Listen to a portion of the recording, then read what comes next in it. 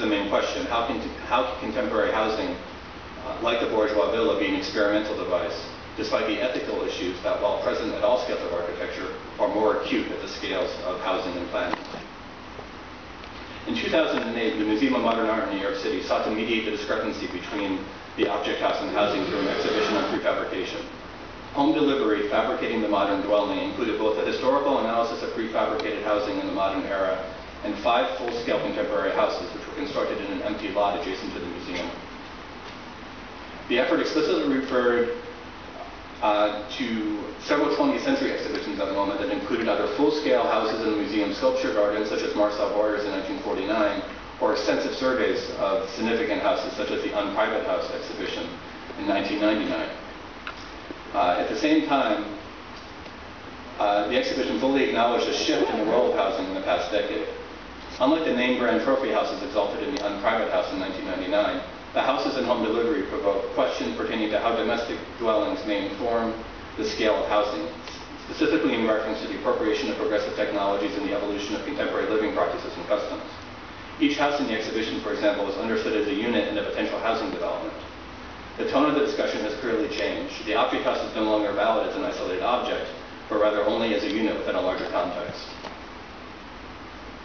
Unfortunately, the projects in the exhibition are also portrayed as isolated object houses in the landscape, and these romantic renderings weaken the argument of the exhibition as they demonstrate an unease with the diminished importance of the traditional object house and a reluctance toward the full embrace of housing as a discourse worthy of MoMA.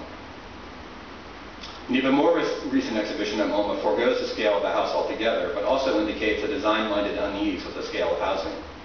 Foreclosed, Rehousing the American Dream is inspired by the findings of the Buell hypothesis, which was developed at Columbia University in New York City.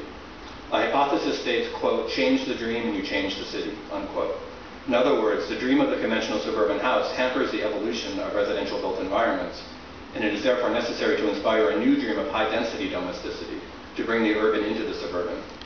Each of the five firms invited to participate in the exhibition engages in experimental design practices, yet each collaborated with housing and other specialists, so that the proposals go beyond experimental high design and address logistical and technical matters of large-scale development which design firms typically, uh, I mean, which design firms rarely engage.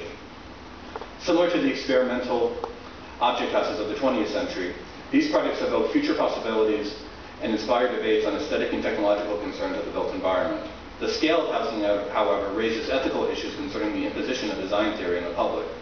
While relevant to the object house in terms of an architect's ethical responsibility to his or her client, the scale of housing amplifies these issues.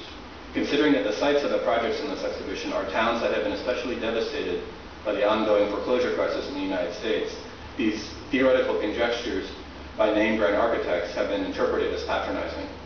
Uh, this is not the first time that MoMA has created a controversy with an exhibition in regards to style. Its very first architecture show in 1932, the International Style, erased the social context of European modernism and promoted it merely as a formal approach. In the foreclosed show, the qualifications of the firms were questioned, and there seemed to be an overemphasis on high design. Meanwhile, community-based housing and urban design organizations, which operate in both theoretical and practical manners, are conspicuously absent from the exhibition and the discussion as a whole. These organizations typically resist the showy representational conventions that museums and publications tend to favor, but the substance of, the work, of their work matches, if not exceeds, the depth of the proposals that were on display in MoMA. Despite the integration of multiple consultants into the design teams, and the relative collective nature of design firms, the MoMA show on foreclosure upholds the paradigm of architecture as a heroic profession of master designers. A recent proposal for a housing development in New York City, ADAPT NYC, underscores the challenges of implementing as opposed to theorizing an experimental housing agenda. Residential units in the project would measure between 250 and 350 square feet, about 23 to 32 square meters, which is significantly smaller than the current minimum that was established in 1987 under vastly different economic and demographic conditions. New York City's population is expected to grow dramatically in the coming decades in ways that do not adhere to conventional demographics. Uh, fortunately, multiple government agencies and Mayor Michael Bloomberg have agreed to waive the laws that regulate maximum site density and minimum unit size. This is a rare instance in the United States of public sector leadership in housing design.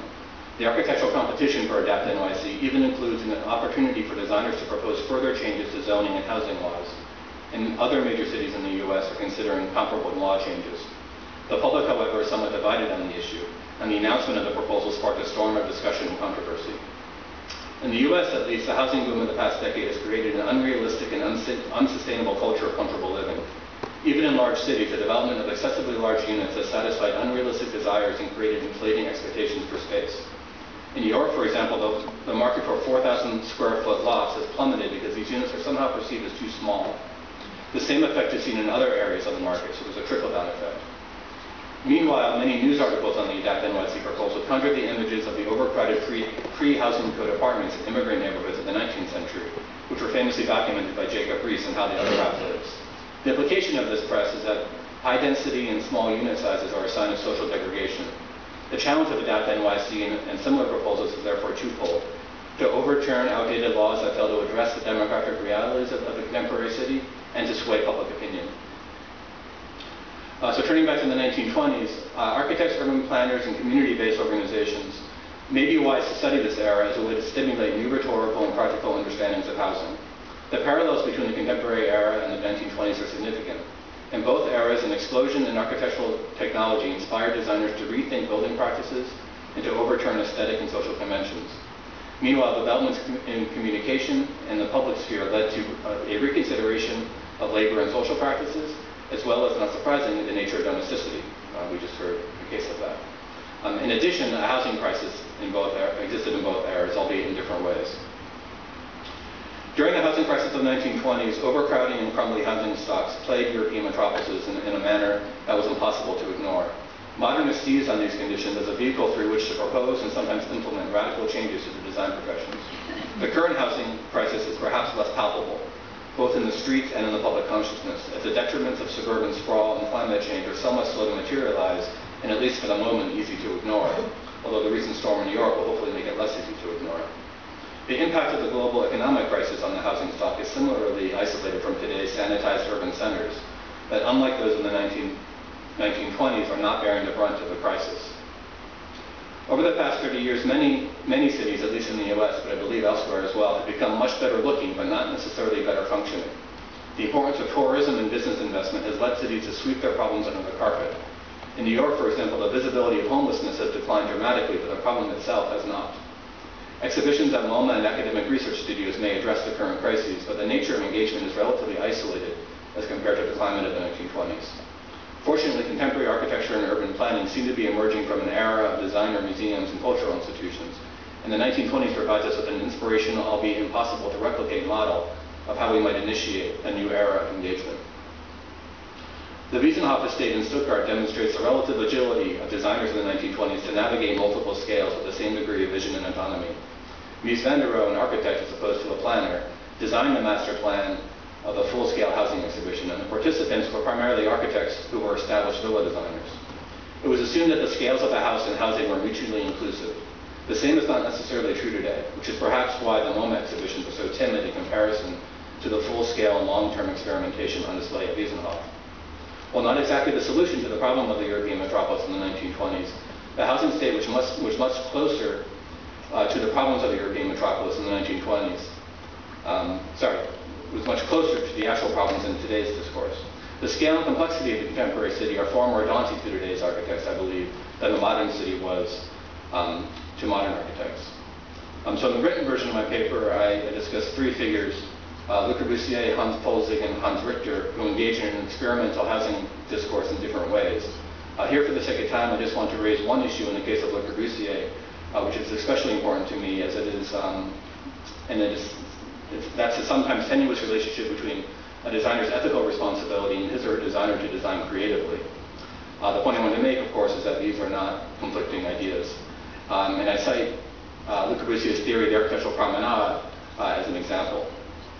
Uh, his idea of this phenomenon begins, begins with an analysis of an urban phenomenon.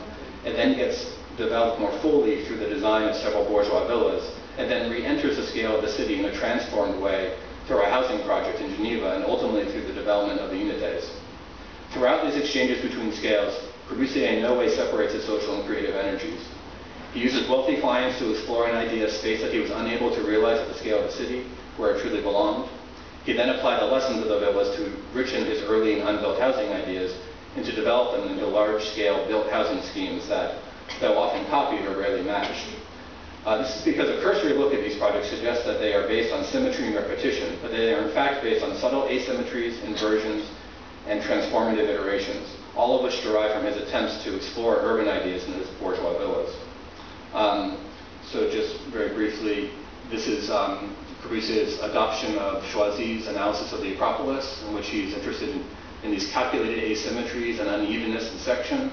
Um, he references this in his book Toward an Architecture in, in a section on the um, on the sort of um, energy of urban fabrics, of vernacular urban fabrics. Um, his early housing schemes appear very sort of regular and symmetrical, but in these housing units there is actually some sectional complexity that begins to learn from the Acropolis.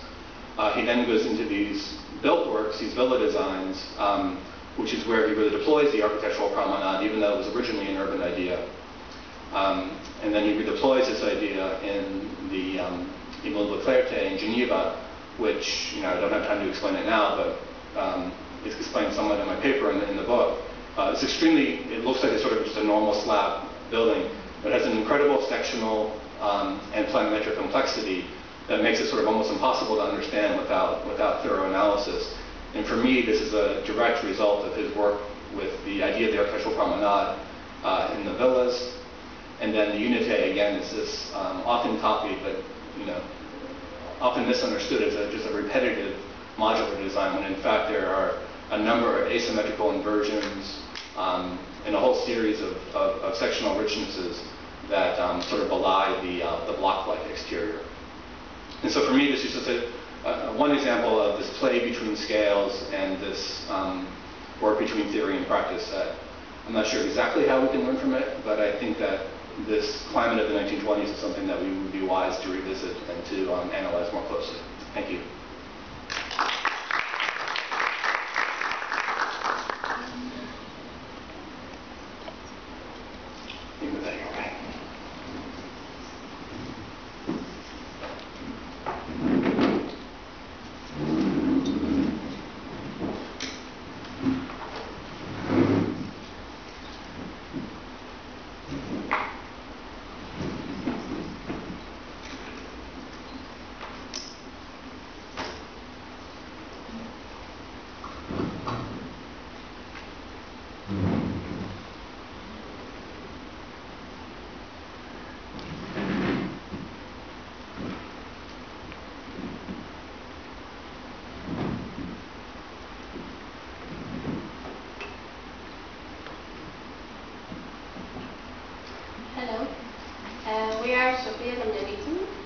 And we have recently graduated from the architecture school of the Aristotle University in Thessaloniki.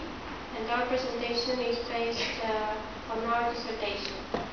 Here we will examine on one hand the theoretical approach of Derrick de Kerckhove and on the other hand an interesting example of user-architect interaction, House 6, uh, designed by Peter Eisenman. To begin with, we would like to refer to Kerckhove's theory as it is presented in the book Architecture of Intelligence. This theory is based on the interconnections and interactions among physical space, digital space, mental space, and cyberspace. These three spatial environments create a system that encloses all different levels of human action, affecting consequently the architectural discipline. Firstly, we will try to define physical space. It follows the principles of physics and is determined by its dimensions. These parameters not only designate human symmetric size, but also specify their movement's limits. One of the first organized attempts at the management of constructed space was the Hippodamian system. Quoting Derrick de Kerckhove, Hippodamus introduced as a principle of rationality, a principle which is translated into proportionality when it's applied to architecture. Next, mental space applies to both brain biological evolution and function and to the philosophical and psychological procedures. The bias of representation comes mostly from the need for the mind to comprehend what the body is involved in. Human's brain perceives the physical space's information through senses. Then, through imaginative and uh, intellectual processes, creates a personalized internal image of the external constructed space. Kerckhove defines cyberspace as a qualitatively defined and partially integrated with the other kinds of spaces that people occupy a physical space and a mental space. I would say that it's a third realm between, around, and within these two spaces.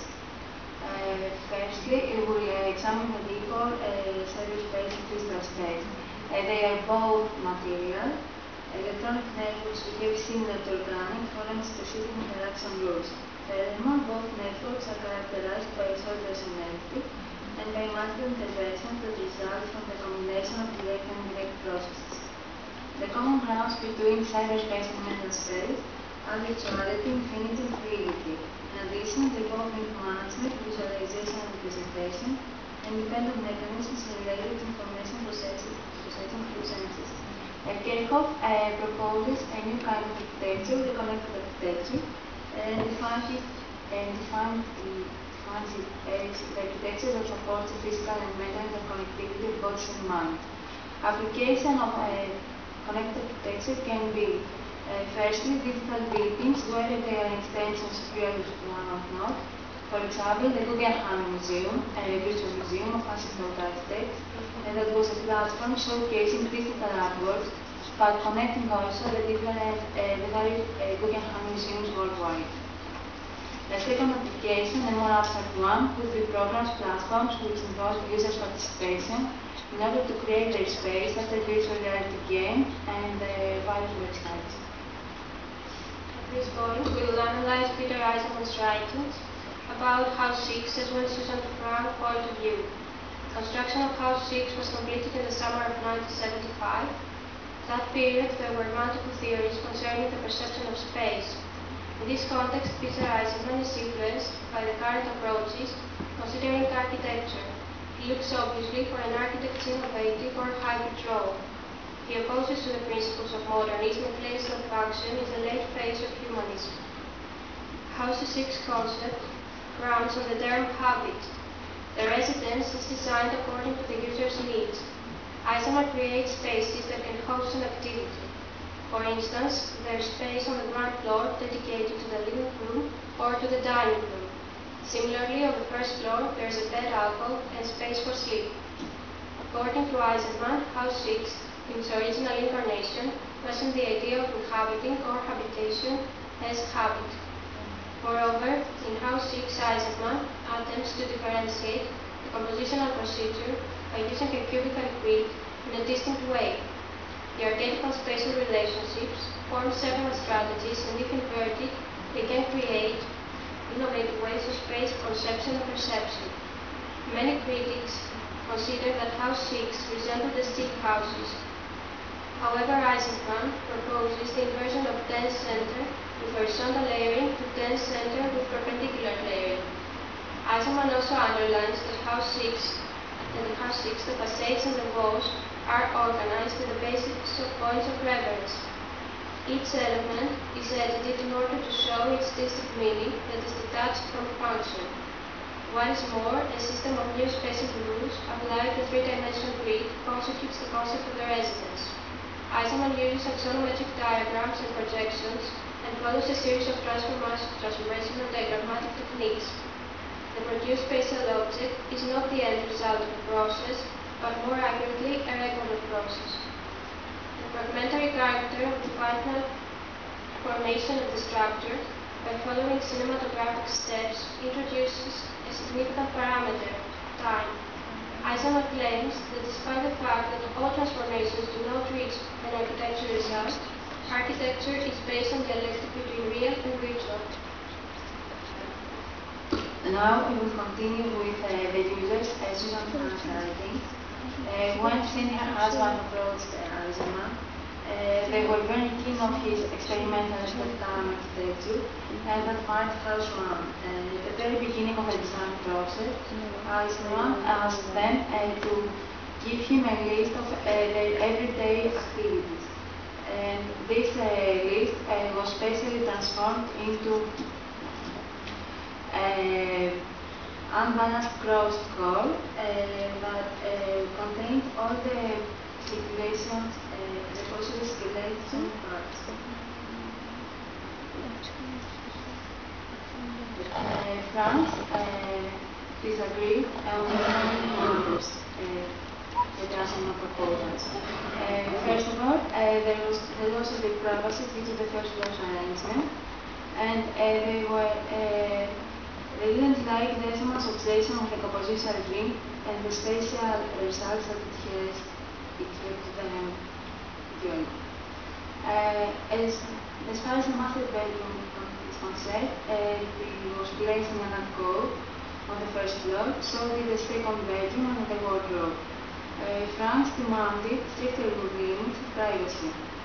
So, above the living room of the ground floor, uh, they placed the master bedroom.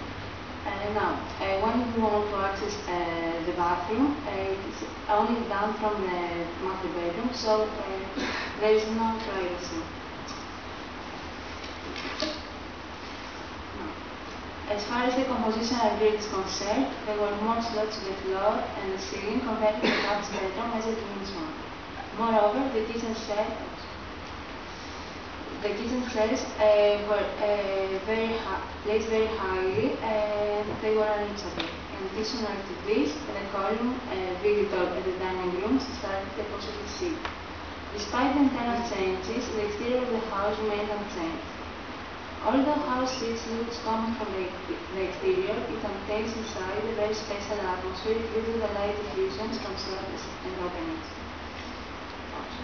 Another exciting element of this house uh, was the combination of various house's compositional elements. Susan Frank characterizes the exterior as an enclosed structure.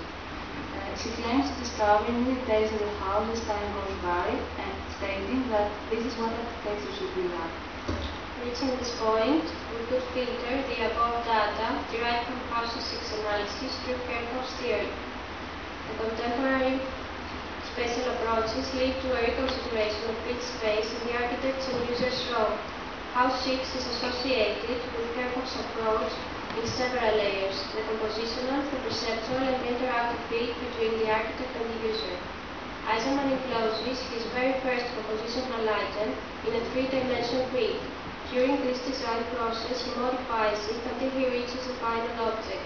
This kind of manipulation is similar to the contemporary digital design methods. The use of axonometric diagrams also differentiates from the modernism tactics. Eisenman organizes a grid characterized by absolute exactness and based on specific rules recalling the dyadic system and the exactness of digital medium. The configuration of the residence space and the architect's and user's roles are examined. In House 6, Eisenman stabilizes the archetypal roles of user and space. The architect sets the base, organizes the start of the game, or to some extent the game itself, and designs the start of the dialogue. Then, he lets the user edit the environment and respond to this dialogue. Within a three-dimensional framework, composition is defined as a set of elements connected to each other in such rules that create spatial entities. The house is the user's action grid, and for these reasons the architect does not retrain the user. There are no boundaries, and thus the user becomes the negotiator. The user obtains data of the given space, in their to street and participates in the design process. The architect allows a degree of modifications and different spatial arrangement in order to enhance the dialogue with the user. This communication takes place to a level of perception and meta metal data processing. In House 6, Eisenman raised an issue of the inhabiting as a habit, and from this point of view he addressed the owners. However, Franks were detached from their space due to the differentiated perception of the notion of habitation. It seems that they have not experienced their space, not interacted with the building and rules set by Eisenman, but organized it according to other ideas they had in mind. Additionally, Peter Eisenman states that the composition was complete, excluding thereby the possibility of expansion. The space which the users are invited to handle was preset. Therefore, the user's movements are differentiated but not determining the compositional modification of the constructed project. Moreover, as mentioned previously, House 6 has open spaces that communicate with each other without barriers, facilitating the interaction of users. Therefore, House 6 emphasizes interconnection, creating a cycle of movement. As well as a contemporary digital environments, physical space also contains all human activity. It is just that Eisenman place for House 6, a process archive. House 6 itself contains information on the history of the building. It contains a genetic code which presents at the same time the desired process and the constructed result. The predefined relationship between the architect and the user is transformed into a cooperative and constantly negotiating relationship in architectural space. The constructed result is an indissoluble consequence of this collaboration, which is based upon principles that, pro- that protect and initiate the user's wills, as well as compose clearly the architectural space. The house symbolizes set of tile mass shaped by the sculptors, the architect and the users. The users are invited to read and perceive a game arranged by the architect and then manage it according to their personal wills. House 6 users participated in the formation of the house throughout the building history, post construction. From the beginning of the design process, the way blossomed and intervened, modifying largely the produced space. House 6 is a result of a compositional process based on the interplay between the architect and the users. In this way, its construction looks like a reissued House 6 as the previous one did not meet its user standards. To sum up, House 6 can be a precursor of contemporary digital uh, spatial issues in architectural discipline. It questions the role of the architect and the perception of architecture in general. It could be assumed that Eisenman does not only suggest the detachment from previous architectural spatial conceptions, but he categorically produces a space that has different principles from Beck. The fact issues regarding the production of architectural space will always be a matter of discussion and constant revision of the parameters that characterize it because of the multiplicity of data and alterations of everyday life. Thank you.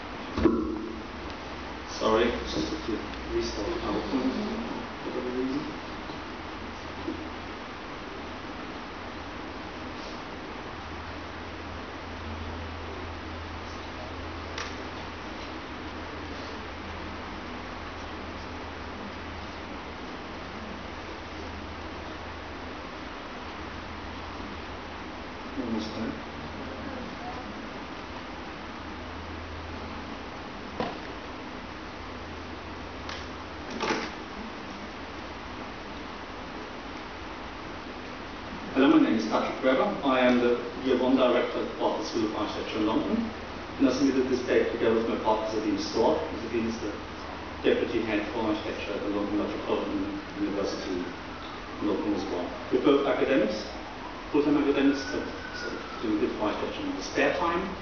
and quite a lot actually lately, so a whole range of projects and I want to end with one of them in a minute. The title of talk for the paper is Room Playing, Playroom. And the main question for us, as it is for the last couple of days, is what is actually home for us? And as part of this exploration, I will try to talk about how the inhabitants, especially children, are engaged with architecture and how they identify with spaces. After this, I will present some of the references we use in our practice, and, and last time to show you some of our, our more recent projects, or try to apply some of the research we've done onto an actual project, so bear with me for.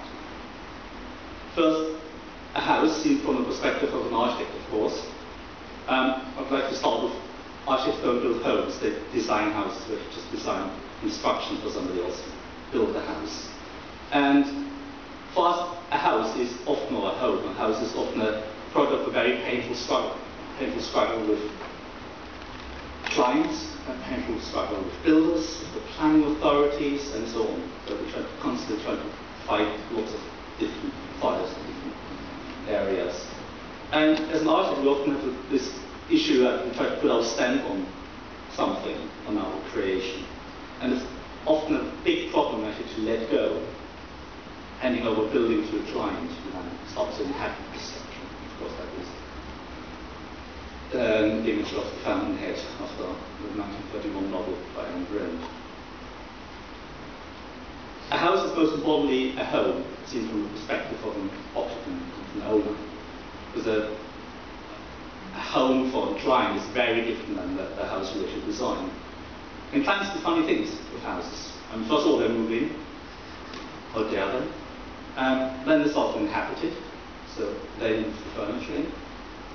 And then they really make it theirs, so they put pictures up, which will have the proof of usually. And just, but interestingly, um, the top one, I mean, both of them, um, are as shown in the Le Corbusier building. We've seen a lot of Le Corbusier buildings. The top one is 1922, built on the outskirts of Paris. The bottom one is what it is now. The owners adopted it a bit, they changed it a bit. Um, their requirements changed, so they put some additions on, and the roof was leaking. Flat roofs don't work anyway, pitch roofs work much better. And this is what it is today, and I, in this research I came across quite a lot of them actually. But a lot of the buildings they never published because they look like that now, which is quite interesting. Uh, but more interesting for us, a house is a home, but for children, it's, it is actually a playground. It's an amazing playground. Um, and children have a very different way how they see space, or something we call art. What they take in, how they experience space, is actually with all their senses. And that does include retaining walls and handrails from our experience our own children. Um, the, a way of learning for them, of understanding the world, is a, through a build-up of experiences. And their state of being or living can only be understood through all the previous experiences they made. And it is quite, quite interesting how these experiences sort of are still influencing the way how we live nowadays as sort of grown-ups. How do we then transform a house into a home, and when does it become a home, actually? For us, the, the interesting thing is, when a client, when they suddenly have this moment of identification, or they suddenly to bond with the structure. For some of them, it is, from our experience, uh, very quickly, they slept in it, it's theirs. Um, but others, it is, from our experience as well, sort of, when they start, the, it doesn't smell the paint anymore. Um, or actually, it might be lots of just like the for saying hanging off the pictures and weird things on the wall, which we really don't approve of. So that is sort of an identification of the structure through objects. But actually, the real identification happens usually through personal experience, When the, when the, when the building and the structure becomes some sort of an embodiment of memories. And children, interestingly, make, make these experiments or these experiences much, much quicker, usually. So how do we interact with the space? How do we interact? How do we build up memories? How do we make this identification, how do we encourage this identification with the structure? Very difficult. Um, the first reference, that, uh, which is actually quite important in our own work, is Bruno Munari, which must be, at least for us, the, maybe one of the most under, underappreciated designer we know. He's developed a whole series of what he called in the 1950s useless machines and unreadable books, which we actually call essential in our exploration. In the 1950s, um, Bruno Munari demonstrates how to find conflict in an uncomfortable chair. How do you engage with an environment? But to us, what's actually more important is actually a series of unreadable books. In these unreadable books, there is actually no story, there's no text, it's just a series of shapes. And every time you sort of flip over, you create a different configuration of shapes, different colored surfaces. And it's then actually down to you to make up a story. And this making up of a story is actually just about everything that is in your head is sort of projected into shapes in front of you, which is actually quite amazing. Of course, if you have any imagination left, it's a problem sometimes. Um, 19, 1960, 1980, sort of he with children through some sort of all these weird television shows, you see now on television, where sort of the heart attack and stuff like that. He, he sort of brought father of all that, sure didn't see that one coming. In the 1970s, he developed a whole series of what he called children play structures for domestic, environments. Yeah, he sort of encouraged children to engage with the structure in a very different way to encourage creative play and learn at the same time. but our main reference and inspiration must be Buster some of his short films from the silent movie area. He's definitely our architect hero. Um, and the building we will see later on, actually, as far as I found out in that he designed and he oversaw the building process that he was an architect. In this film, called One Week from 1920s, he gets his present flat pack house, um, which he wants to build. These are the instructions to give the house a snappy appearance, put up the put it up according to the numbers on the boxes, but again, being Buster Keaton, things go slightly wrong. With a not so friendly suit of his wife Sybil, here she is, I changed the numbers on the boxes. The house arrived in, and Buster gets a bit confused. But and in the choice of the building, also sorts of misfortunes happen. But nevertheless, Buster and Sybil persevere. They continue building it against all odds. They actually finish the house. Or at least what you could consider being a house. That is on that side, that is the house being finished. And you could see how they're sort of start interacting with the structure as they build it, they build up sort of personal memories of that. Once it's finished, it's their house. So here, Sybil and Buster, they start bonding with the structure, with the building, and it's sort of no matter how it looks, you know. And house does look bit fun, but again, they, they love it, you know, of, that love to the house. But interestingly, um, for them it's completely normal at the end of the house through removing the wall panel because the front door ended up on the first floor. And the whole thing sort of doesn't work. But anyway, for them it's completely normal, which is amazing. And they start, and start living in that. Finally, and Sybil move in, and they throw a housewarming party for all their friends. They take possession of the house, which is now their home. That's just a short version of the whole thing. And there's lots of other scenes in the bathroom and how they furnish the house and get the piano in through pulling out the wall, whatever. But again, and in the end, of course, being a silent movie, the whole thing gets destroyed while they try to move the house to a different side and actually they had a train going for the house. And that is pre-CGI, they actually had a real train going for the house. But anyway. the next short one is um, a film called The Scarecrow from 1920, where the whole opening scene is how Buster and Joe Roberts are sharing a one-room house filled with all sorts of wonderful, ingenious, and completely equally pointless inventions, which we'll see in a second. The bed, of course, doubles up as a piano, which you can play. The gramophone is turning into a hob, and they start cooking. The bathtub turns over, emptying the water into a strategically placed apron on the outside, while on the inside being transformed into a nice sofa you can use. and finally, after having their dinner, and please see the film, um, all the dishes are fixed to the, to the tabletop, and you just hang it on the wall and just, just hose the whole thing down. And once that is done, sort of, sort of yet another sort of pointless ingenious invention, it can be turned over to depict the maybe not so long ago fashionable slogan, what is a house without a? In the project we work in our studios, clients often ask us, uh, more willing to take risks in the children's spaces, which is sort of funny enough, something apparently clients talk to each other and they, they sort of find us when they have problems with children's rooms. I don't know why and how, but apparently they all talk about that. But again, when you design for children, you have sort of problems. You, actually can't really discuss the design with them or drawings. They sort of don't understand, understand that. And you have to ask yourself actually, what is play? Because children spend a lot of time in their rooms. And judging from our own children, play is often associated with toys, or possessions. But is any space left for actually, nowadays. Because nowadays children have a very limited space in our cities and even in our private domains. It's play spaces are actually quite small.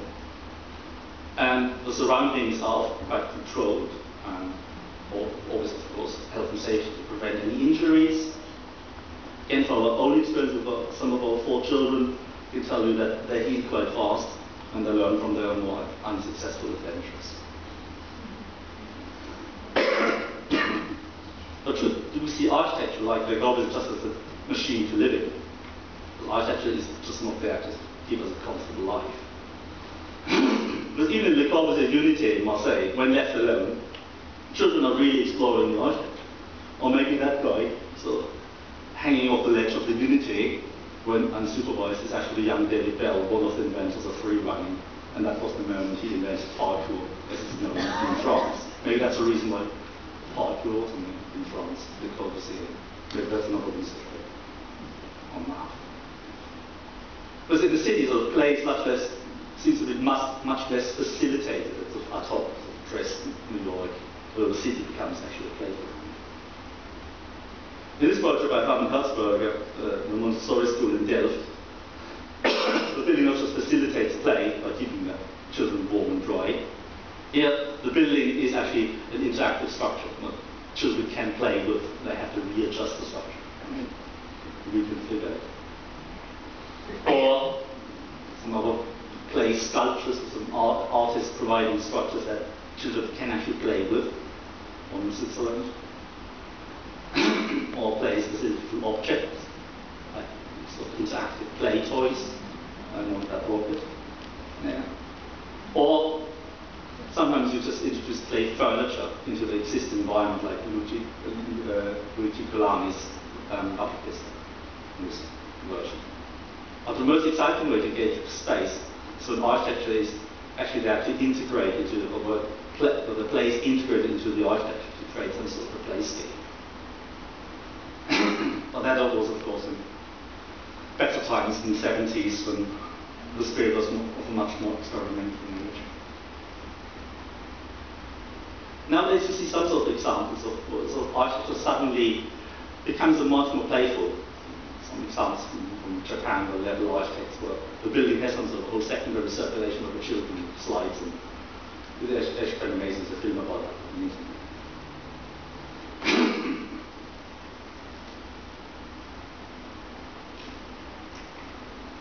I would just would like to quickly show you a project we were working on the last couple of years, two years ago, as a, as a part of wider refurbishment of a house in London. You don't build houses, just old ones. There are many of them around. And the biggest challenge was that was one of these clients, one of these clients of found because they struggled with space, because they had too many children, not enough space. And some of our architects struggled to come up with some sort of solution how you could accommodate them. Selling wasn't an option. Um, instead of introducing a normal space, we decided to divide the space actually dia- diagonally by giving children sort of a sense of space, not just create them in small boxes. But at the same time, not just dividing them, actually connecting them as well as an interactive toy, which was actually their wardrobe, which spins around. And children are actually unable to manipulate the space, their play space. And there are a lot of different ways you can use it from total separation, they're two boys, to joint play, they sometimes play together, and they could actually block the whole parent world out and block themselves into the yellow room, which was actually quite an interesting concept for them. Each space had a very distinct character reflected in the different colours the boys chose, the green room and the yellow room.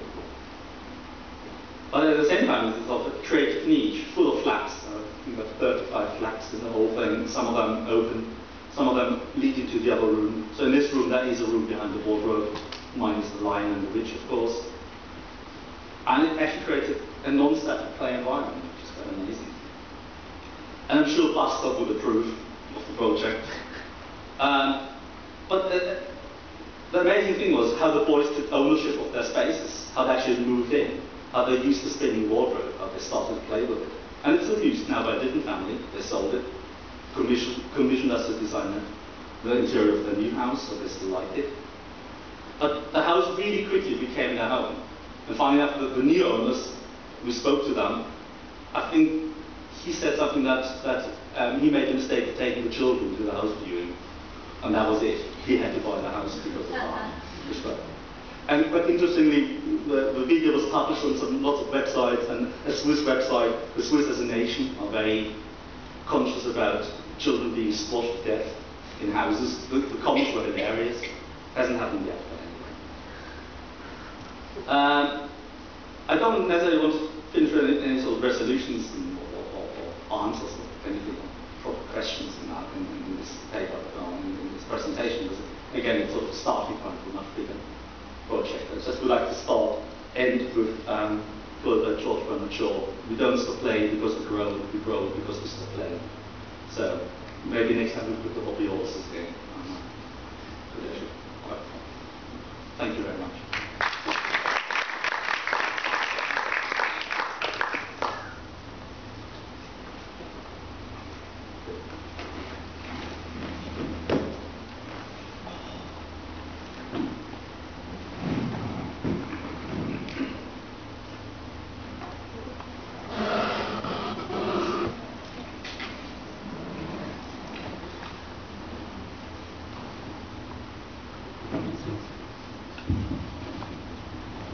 Uh, Hi, thank you for all the presentations. Uh, I I would like to ask a question to uh, Thomas.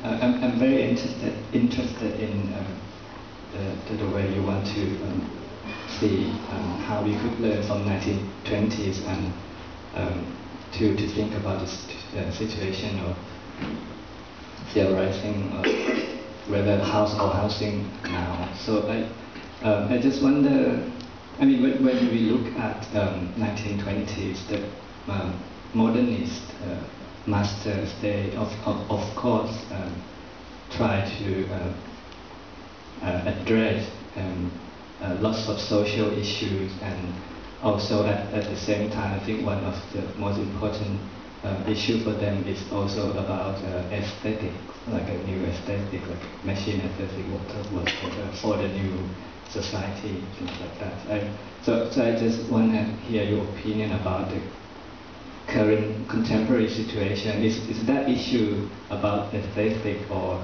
something related to that still relevant?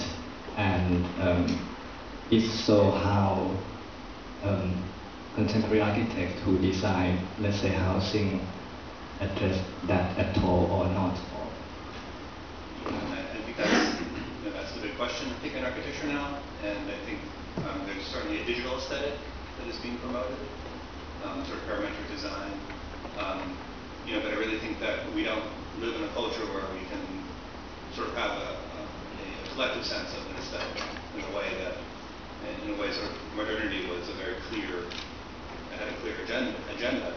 And I think contemporary culture doesn't have that that clarity. So you know, I mean, I teach, I teach design, and I, I have this, pro- I have a problem teaching design, and I actually may stop teaching design because it's it's a difficult question to answer. Sort of, you know, what is the role of form?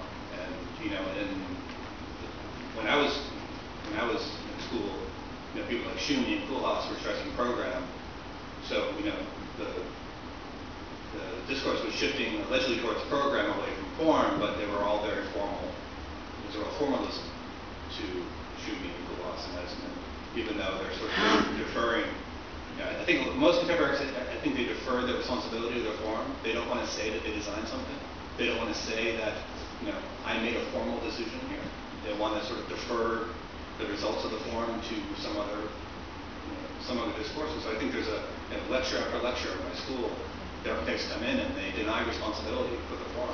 They don't, they don't address form. And my colleagues often can't talk about the building as, as a thing. They, they talk about what the students said. You know, they sort of they, they critique sort of this meta critique of architecture because there's this resistance to, to really tackling form. And that might be, you know, that might be, on the one hand, I, I want to take responsibility for form and talk about form as form. On the other hand, there is that problem of form. So I wish I, could, I wish I had an answer for you, but this is something that keeps me up at night. Thank you. Can I, can I add some? Or re- reply to to what you said? I, I think it's very interesting what you said there, but interestingly, in um, 2011, at the Venice Biennale, 2010 Venice Biennale, um, Rem Koolhaas, who's, who's very famous, uh, one of his most famous uh, statements was, was co- context, that idea that the, the building came completely from the programme, but he's reinvented himself as a contextualist, and he talks about the idea that the form of the building is very much generated by the form of the context. And there is this sense and this growing movement within architecture based on contextualism, which actually is two generations old now, that uh, form does follow form. And there is that sense that um, it's not form follows function, but the form of the existing has a direct influence on the form of any new interventions placed within the urban or built environment. So I'm adding to your Yeah. points. Yeah. The the question becomes, do you complement the context, do you depict it? Yeah, well, there is that sense of a conversation Yeah. with it. Yeah.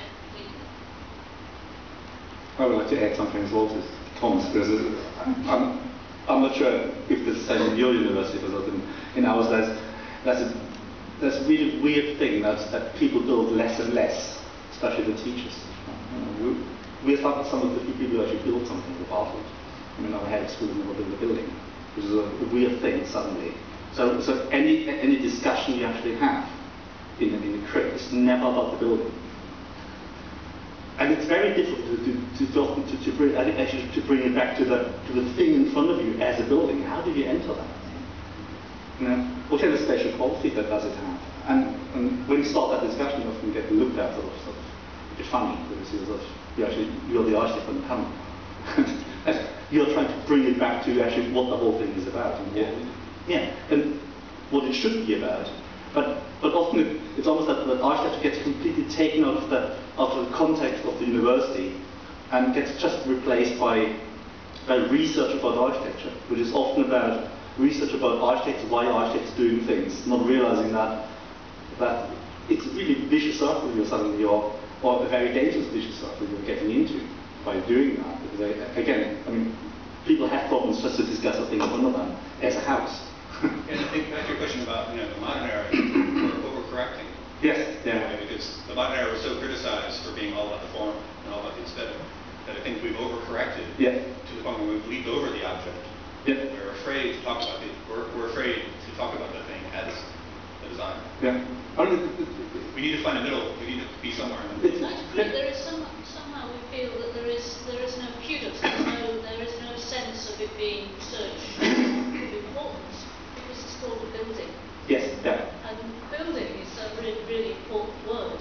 Yeah. And there is that sense. Well, is it architecture? Is it a building? But uh, to design a building is very important and it's a very difficult Yeah. thing to do well. It's It's. Yeah. it's so funny when, when, when, when you get to a student and you ask him, how do you enter the building? Where do you enter? And this, it does it does it have to be a building? Yeah, uh, but, but no, it's just a really simple question. I, I enter, I want to go to the toilet. 80% of the students are failing that question completely. Uh. They actually don't know where to get to in- into the building. They actually don't know the way around. You know, which is really No, because they bizarre. don't want to design a building. But, yeah, because they actually they don't want to design a building because otherwise they, they put themselves under so much criticism, which is quite bizarre. Sorry, that went on a bit. I was just wondering if you were being involved. I turned it off now. Sorry. I had a, I had a quick question here. I, I enjoyed the panel very much, actually, and interesting complimentary presentations, all of you. And I guess I had a question and maybe comment for the bookends, uh, Sally and Patrick. Uh, and that is, you both really presented a, a critique of the notion of play and children's play. In your case, Sally, uh, your son and his best friend were playing over the computer without uh, having to physically see each other face to face, but the screen time was substituting for the face time. And then in your presentation, Patrick, the fact that the kids could play within the architectural structure that you designed, um, I guess my, my comment is that despite the fact that there's all sorts of literature that says that kids and adults alike need to be exposed to nature and sunshine and fresh air, and that's good for you, no question it is. But I think both of you have also uh, put together some work that, that perhaps is critique of the argument, the traditional argument for families moving out to the suburbs, which is because they need to have a yard and they want that single family detached house because it's so important for the kids to play in the yard. I think what you're showing is it isn't necessarily that important for them to play in the yard. The fresh air is important, the sunshine is important, but you can also get that in the public spaces. And I think it's an argument that needs to be heard more often, that you can do some really interesting things. I guess I'm wondering too, could you even take it further? I mean, you looked at your movable walls and things that kids can play with. What about the ceiling? What about uh, the floor? I mean, are there things that you can do that would be, you know, almost uh, like uh, animals in a zoo or something like that, where you could have kids really getting a lot of exercise within the house itself? That you could design that would make the house sort of a gymnastic setting without the need to have to go outside. I mean, but interestingly, this is what we built. That wasn't necessarily what we presented to the client, was what we presented to the client actually involved the third dimension and it had some sort of roof lanterns which went up and they could actually play on the on the on the roof of that. Um, uh, but it was of course rejected by the planning authorities because you saw it in an elevation. Nobody else would see it, but and they didn't actually understand that. So it had to be everything we did had to be accommodated within the fabric of the building. And um, to, to the other point, the children as small as they are, in this house, they were actually bigger than the yard they had behind the house. And actually, the yard was more or less reserved to the door. With that door had to be somewhere. so the children had to actually play in, in their rooms. But, I mean, on the other hand, there was a park just across the road. And the children got some fresh air every day, as far as I know. No, I, I think you're absolutely right. Um, and that's, that's what I think is brilliant about children, what we can learn from them, is they'll take any environment and they'll push it to its absolute limits. Yeah. Whether that's a play environment, whether that's an urban environment, or whether that's a, um, uh, using computers. They don't really care about how it's made what puts it together and what it's constructed from.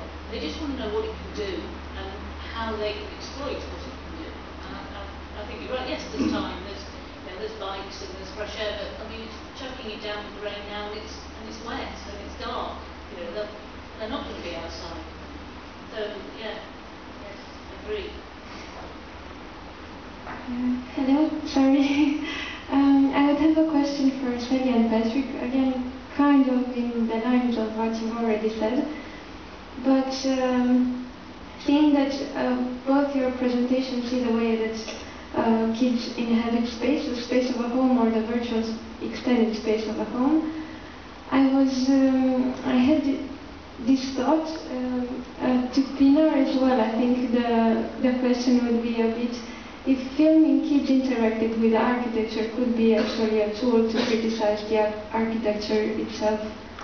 Um, yeah, I think so. Or the space itself in case of a virtual. To just see the way it works and without saying any words, just filming a kid interact with it, I think would say more than architect's words somehow.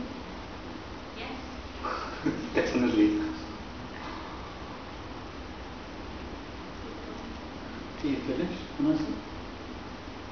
Was that the answer? Yeah, good, I, uh, can- good can I- point, well made. Good point. Um, I, I think it was really refreshing. The thing that I found really interesting was the kind of close observation of the way homes are actually being occupied at the moment. And it's something I've been working with, with students and other people uh, uh, to engage with. For, and, and, and we, in, in the sense that we, we, there isn't quite enough questioning of the way that the home is being used in a modern way.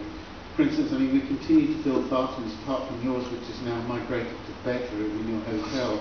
But we continue to make them as some sort of strange kind of hygienic place with a basin, a toilet, a shower and things. When in fact they could well become now the sort of beautification where you're doing your Botox and all the other things that go with body transformations. So we're not really, we've not really understood that they're actually changing. And I think the thing that was going through my mind is that, that operating now in Australia, I see many, many new houses that win awards. And the planning of them seems to